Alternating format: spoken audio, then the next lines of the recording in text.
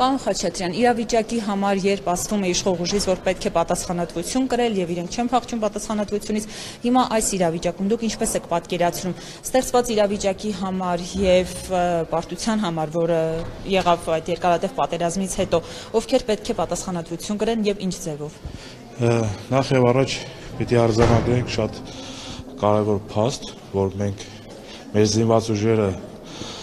մարտնչել են, հերոսաբար են մարտնչել թուրքական, ադրբեջանական զինված ուժերի եւ ահաբեկիչների դեմ իսրայելական ժամանակակից զենքի դեմ դրանց թիկունքում կանգնած հիմա ես չեմ ուզում սա մասին խոսել, սա ապագան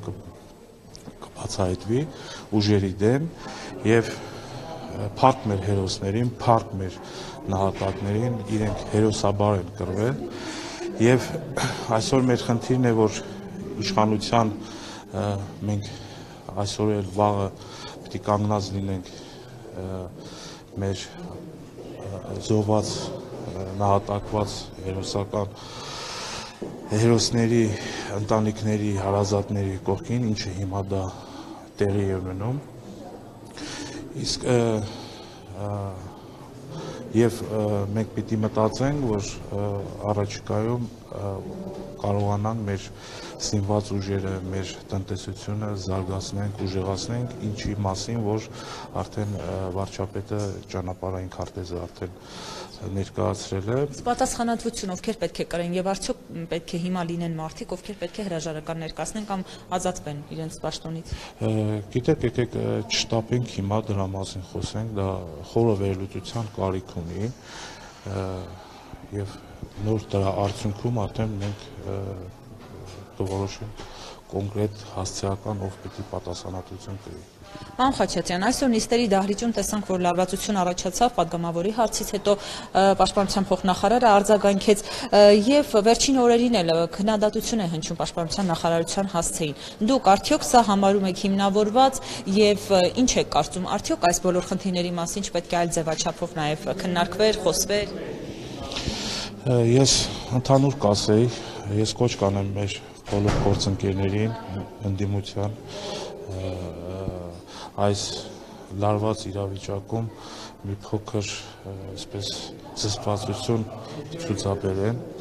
որովհետև մենք հիմա գտնվում ենք շատ բարդ ժամանակաշրջանում եւ քաղաքացիները այդ զոհված ընտանիքների զոհված տղաների ընտանիքները մեզանից այլ բան են ակնկալում եւ մենք պետք է միասնաբար լինենք եւ այն խնդիրները այսօր որ մենք ունենք պետք է միասին լուծենք Պարոն Խաչատրյան,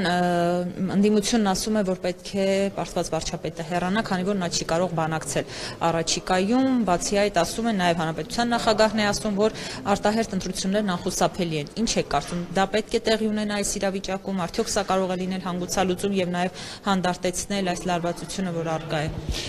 Ես արդեն ասացի ընդդիմության հետ կապված, բայց եւս մեկ անգամ ձեր հարցին պատասխանելով հիմա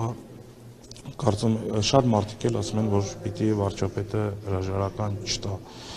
դա իհարկե իրենց իրավունքն է ընդդիմության որ իրենք նման հարց առաջ քաշեն, բայց ինչպես են պատկերացնում, օրինակ, եթե վարչապետը հրաժարական տվեց եւ գյուղերում այդ սև լենտերը կախած եւ գնում ենք մենք քարոզարշավի։ Սա ասենք Ասում են ժամանակավոր կառավարություն ձևավորվի հետո արդեն անցնենք արտահերտ ընտրության։ Հիմա կառավարությունը կա, կառավարությունը շատ այսպես 24 ժամյա ռեժիմով աշխատում է եւ կարծում եմ դրա կարիքը չկա, ես դա չեմ տեսնում, որովհետեւ հանրային պահանջեր չկա այդպեսին, իհարկե իրենց հանրակների հանրավակների ժամանակը մարդիկ գալիս են, բայց դա հիմք այսօր հիմք չի տալիս, որ այդ հանրավակների որը որ կազմակերպում են ընդդիմությունը վարչապետը հրաժարական տա եւ ես նորից եմ ուզում կրկնել, որ հարային այդպիսի պահանջ չկա ինձ էլ իմ գործընկերներին էլ դուք էլ կարող եք դուք շփվել տեսնել որ բազմաթիվ մարդիկ են զանգում գալիս են տեսնում գրում եւ այլն ասում են որ մեր կողմից փոխանցեք վարչապետը հանկարծ նման քայլի չգնա երեք էլ դուք տեսաք այդ բազմահազարանոց հանրահավաք կառավարության ի պաշտպանություն վարչապետի անի իրենք սամարից են իջել Ահա Լուսաբանել եք Հա, չէ, ես ասում եմ որ դուք դրա մասին շատ լավ գիտեք։ Դեռ մի մասն էլ գտնվում է սամանում, այնտեղից էլ են զանգարում, գրում եւ այլն։ Պարոն Խաչատրյան, ինչ եք կարծում այս իրավիճակում գլխավոր թերացումները որոնք էին, որոնց մասին օրինակ արժե բարձրաձայնել, այսքան գլխավոր խնդիրներն ինչու էին, թեկուզ բանակի առնչությամբ կամ այլ խնդիրներ, այսքան զորակոչի մասին է խոսում վարչապետն ինքը խոսեց կազմակերպվածության առումով, որ եղել է խնդիրներ։ Դուք ինքներդ 1-2-ը կարող եք մատնանշել։ Իհարկե, խնդիրներ, թերություններ, բաստոլներ կլինեն, բայց ես իմ խոսքի սկզբում էլ ասեցի, որ մենք ինչ ուժերի դեմ ենք կռվել։ Եվ եթե դուք նկատում եք, նկատի ունեք, որ այդ խնդիրները, բաստոլները ը, այլ երկ ունենան պատերազմի արդյունքի մասին խոսքը, այլ երկ ունենան, կարծում եմ, որ ոչ։ Իհարկե, նորից եմ կրկնում, որ խնդիրներ, բաստողներ պատերազմական վիճակի ինչպես կարող են չլինել, բայց